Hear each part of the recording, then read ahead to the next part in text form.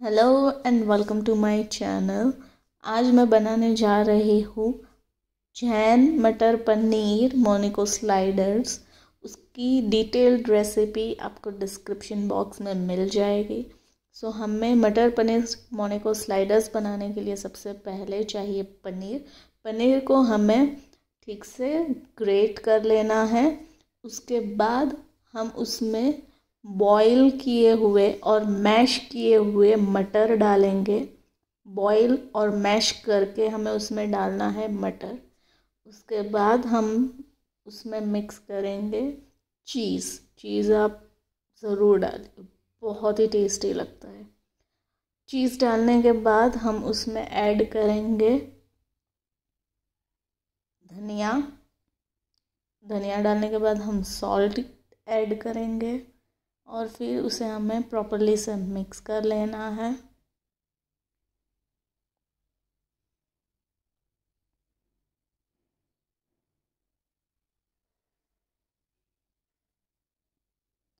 ये मैंने यहाँ पे उसको मिक्स कर लिया है। मिक्स करने के बाद मैंने यहाँ पे एक बोर्ड में मोनिको बिस्किट्स को ऐसे प्लेस कर दिया है। यहाँ पे सारे ही मोनेको बिस्किट्स को ऐसे प्लेस करने के बाद हमने जो मिक्सचर बनाया था, मटर पनीर और चीज़ धनिया डाल के, उसको हमें बॉल्स बना लेना है। बॉल्स बनाने के बाद उससे हल्का सा प्रेस कर लेना है। जैसे मैंने यहाँ पे वीडियो में बताया है वैसे। ऐसे ही मैं सारे ही मटर पनीर के जो बॉल्स है वो मैं बना लूँगी।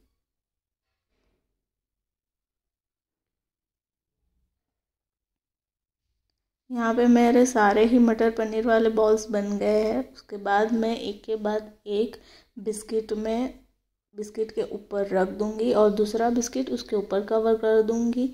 सैंडविच के जैसे हमें कर लेना है।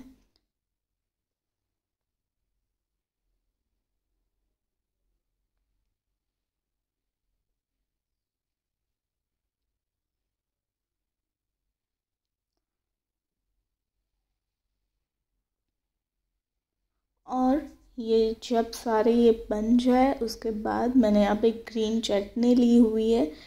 तो हमें जो साइड्स है, उसे ग्रीन चटनी के साथ कोट कर लेना है। ग्रीन चटनी से प्रॉपरली कोट हो जाए, उसके बाद मैंने यहाँ पे पनीर लिया है। आप पनीर की जगह पे चीज़ भी यूज़ कर सकते हो। तो उसके बाद चटनी के कोट करने के बाद मैंने यहाँ पे पनीर से भी कोट कर लिया है। ऐसे ही मैं सारे ही बिस्किट्स में कर लूँगी। और ये टेस्ट में बहुत ही अमेजिंग लगता है, बहुत टेस्टी लगता है। और इसको आपको जैन ना बनाना हो तो आप इसमें अनियंस भी ऐड कर सकते हो। ऐसे ही मैंने यहाँ पे सारे ही बिस्किट्स रेडी कर लिए हैं। सो ये रेसिपी आप ट्राई करिए और मुझे कमेंट्स में बताइए कैसा लगा। Thank you bye